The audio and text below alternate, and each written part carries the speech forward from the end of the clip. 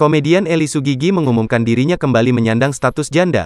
Eli Sugigi memilih cerai lantaran ada orang ketiga di pernikahannya dengan Irwan Aher. Kabar tersebut disampaikan sendiri oleh Eli Sugigi. Aku sudahi sama Aher, aku yang udahin, ucap empok Eli sapaan akrabnya, dikutip dari grid.id. Eli Sugigi awalnya enggan mengungkapkan penyebab hancurnya rumah tangga dengan Aher. Sebab ia ingin berpisah dengan Aher secara baik-baik. Banyak alasannya, dia belum jawab apa-apa, masih di Bali. Tapi aku minta udahin aja, kata Eli Sugigi. Aku sama dia baik, nggak mau berantem, sambungnya. Namun, Eli Sugigi kemudian mengaku bahwa ada orang ketiga dalam pernikahannya bersama sang suami.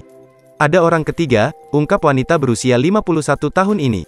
Empok Eli pun merahasiakan identitas orang ketiga yang telah menghancurkan pernikahannya dengan Aher.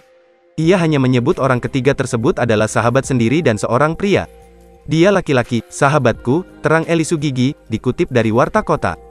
Menurut Eli Sugigi, Aher memiliki hubungan dengan sahabatnya itu. Hingga akhirnya Eli Sugigi memutuskan untuk berpisah dengan Aher. Aku sampai ribut besar sama dia dua hari lalu setelah orang ketiga ini membongkar hubungannya sama Aher.